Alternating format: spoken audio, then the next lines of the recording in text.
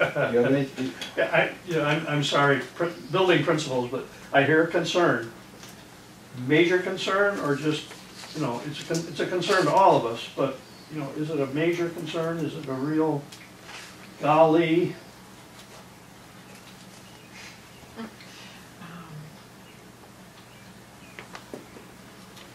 I look at it in the bigger picture of working with teachers and adding five minutes to the day. It's not about the bus company, it's about teachers and all the other things that are going on. So that's what I look at mm-hmm. when we talk about morale and those things, and I know that doesn't fit into this piece, but it fits into a bigger understand- piece. I understand. So that's, that's a piece of where I come from. It's not about them and what they're doing, but all things more mm-hmm. in-house and that we're dealing with here.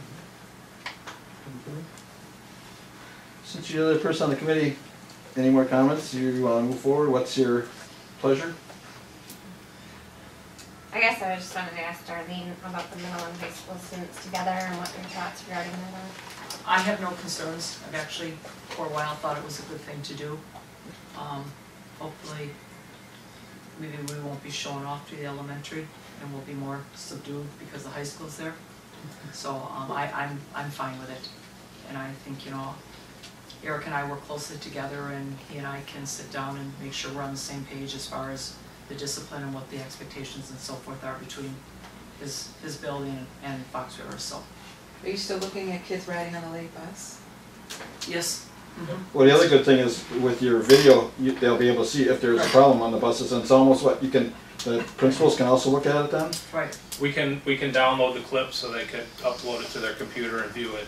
So it's almost like real time, it would be within, a yeah. Within that, that, you know, if it happens in the morning, you'd, you'd see it, you know, right after So, school you know, that, starts. that's a plus too, that you won't have to worry. And are there other schools where we do it? Uh-huh. Most of the kids, they're riding with their brothers and sisters or their neighbors.